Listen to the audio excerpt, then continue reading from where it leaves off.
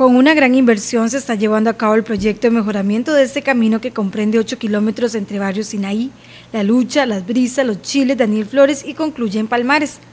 El proyecto lo está llevando a cabo el Ministerio de Obras Públicas y Transportes, donde la municipalidad es el ente ejecutor. El municipio proyecta que en noviembre ya se esté concluyendo con los trabajos.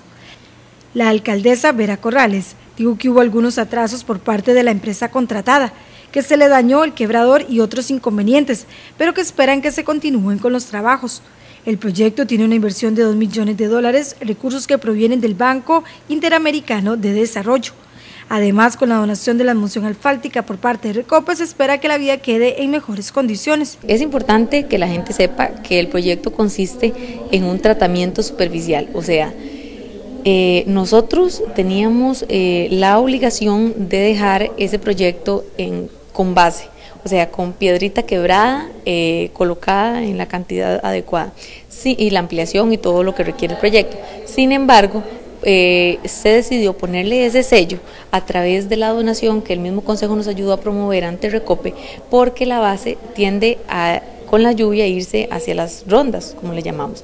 Entonces se decidió ponerle ese tratamiento superficial que es como un sello, porque este, ese sello va a permitir que la base perdure más tiempo. Actualmente hay algunos tramos donde ya se trabajó que presentan, por ejemplo, algunos huecos.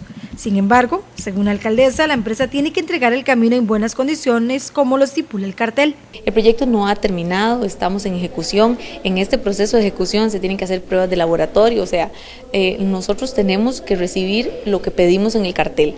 Recordemos que la contratación no la hace la municipalidad, la contratación la hace el MOP eh, a través de, de su proveeduría a la empresa. O sea, nosotros somos como un ente fiscalizador y estamos haciendo ese trabajo. El proyecto no se ha terminado, tenemos todavía, estamos dentro del plazo incluso de garantía y todo lo demás.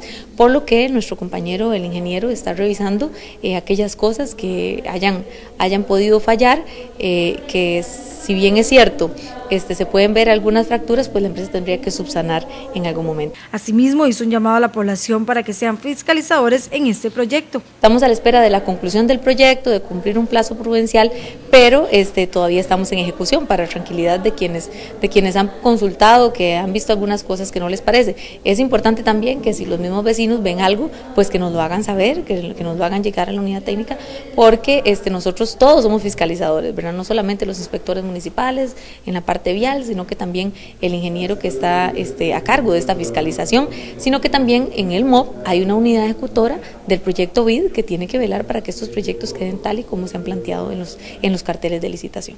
La jerarca dijo que de continuarse con atrasos están realizando los trámites correspondientes para que se sancione si es necesario.